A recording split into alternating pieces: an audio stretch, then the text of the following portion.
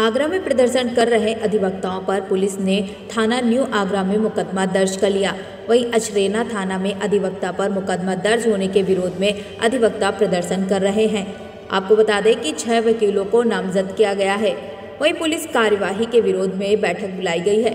थाना अछरेना में अधिवक्ता लोकेंद्र सिंह चाहन पर मुकदमा दर्ज किया गया है।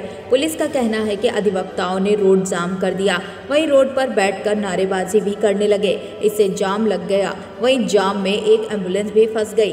पुलिस के अनुरोध करने पर भी अधिवक्ताओं ने रास्ता नहीं खोला। वहीं पुलिस के समझाने पर अधिवक्ता उग्र हो गए। धारा 144 लागू होने के बाद भी प्रदर्शन किया गया। जाम लगने से एंबुलेंस फंसने पर मरीज़ की जान को खतरा पैदा हो गया था।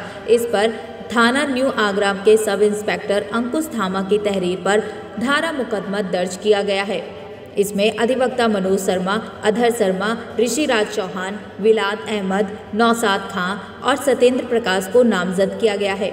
वहीं अधिवक्ताओं का कहना है कि पुलिस ने फर्जी मुकदमा दर्ज किया है। अधिवक्ताओं ने तो शांतिपूर्ण तरीके से विरोध प्रदर्शन किया था। Bureau report, IPN.